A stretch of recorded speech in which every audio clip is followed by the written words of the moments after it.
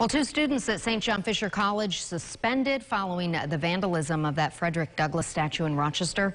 Joe Bodicker and Charles Milks charged with criminal mischief. They admitted to ripping the statue from its base at Tracy Street in Alexander around 1230 Sunday morning.